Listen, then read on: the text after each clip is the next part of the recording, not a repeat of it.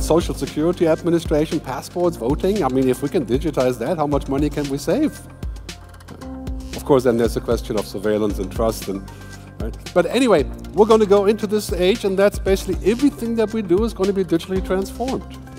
But let's not transform one thing that's really important. That's us. There's many things about us that should not be transformed.